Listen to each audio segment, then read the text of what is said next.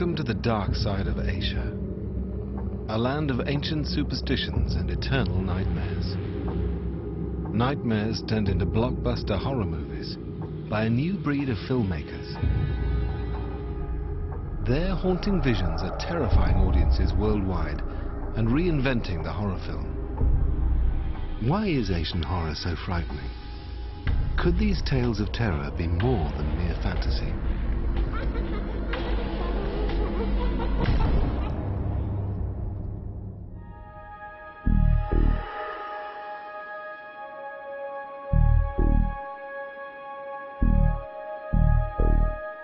In movie theaters across Asia, audiences are being kept on the edge of their seats by films widely considered to be the world's scariest. Asian directors have turned to their roots and come up with a unique brand of horror.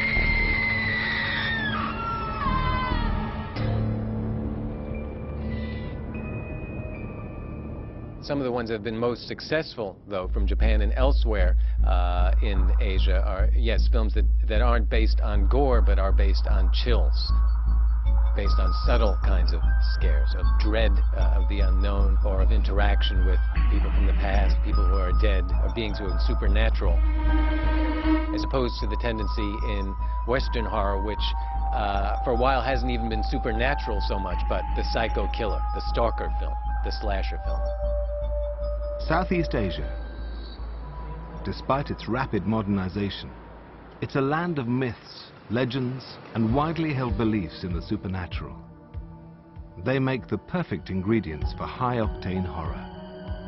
These films are resurrecting traditional beliefs as a forceful reminder to its audiences not to forget their culture and history. You know how Hollywood films nowadays try to create their own myths you know, so that the movie has that sense of mythology.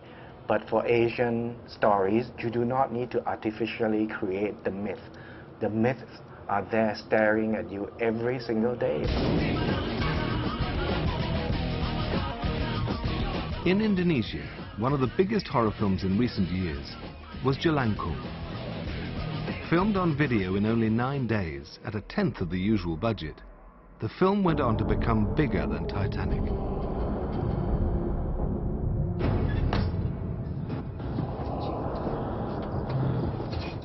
The film tells the story of a group of young Ghostbusters who meddle with the supernatural using a traditional spirit doll in a ritual known as Jelangkung. But in the end, they pay the ultimate price for their abuse of tradition.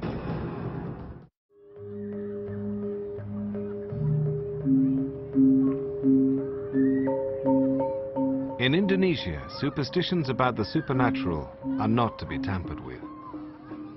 Beliefs about ghosts and spirits are deeply ingrained in people's minds. Ancient rituals are still practiced to make contact with the spirit world.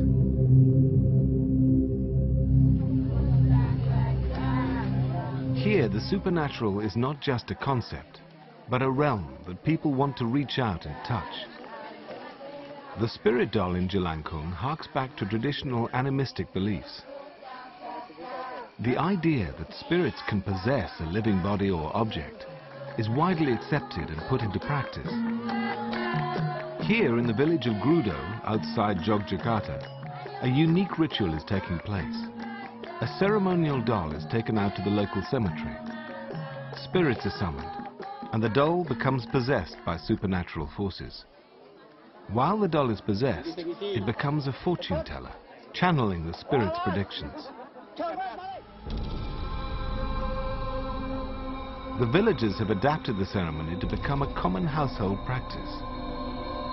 Families commune with spirits using a Jelangkung doll made from a simple gourd that becomes possessed.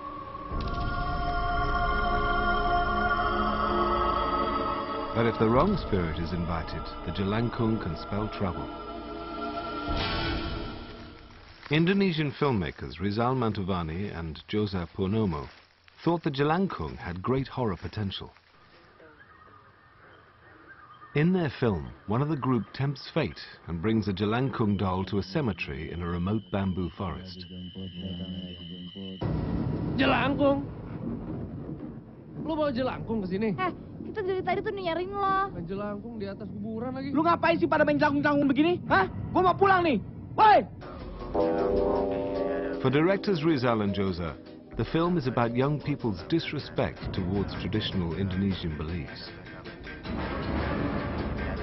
the attitude of the uh, younger generation towards the uh, the culture. Sometimes they see it as uh, they mock it. You know, sometimes they're uh, too uh, cocky about uh, about stuff, and it shows because I'm actually one of them. I mean.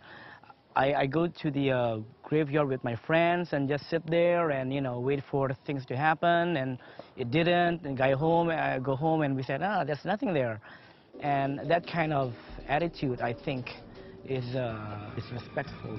It's about this bunch of kids who curious about uh, supernatural, supernatural being and stuff like that. So when they get to the extreme, they, they, they can't handle it. So, so it's like, it's the curiosity kills. Jelangkung, it has a lot of scares. It makes use of you know, traditional local traditions in terms of horror to help deliver those scares. The sense of using the local tradition but saying, well, what happens now when this local tradition comes to a modern day context? Uh, does the tradition still have its power? Using the power of tradition to instill fear made Jelangkung one of the biggest films in Indonesian cinema. One of the secrets to its success is that many young Indonesians will have satisfied their own curiosity for the supernatural by experimenting with the Jelangkung doll.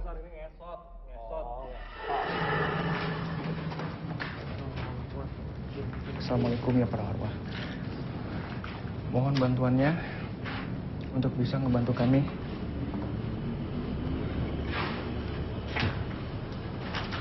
wujudkan wujudkan wujud kalian, tapi tidak dengan wujud yang seram. Mohon bantuannya. It's Friday night in Jakarta, Indonesia. A group of young friends are out on the town, but this is no ordinary night out. They've come to this abandoned colonial hospital in the old town, which they hear is haunted. They're here to play Jelangkung and make contact with the spirit world. Jelangkung, Jelangkung, datanglah. Di sini ada pesta. Datang tadi jemput, pulang tadi antar. Jalangkung, jalangkung datanglah. Di sini ada pesta. Datang tadi jemput, pulang tadi antar. On this occasion, they summon a spirit who lived in this area 300 years ago. The force of the spirits was so strong, it appeared that two members of the group became possessed.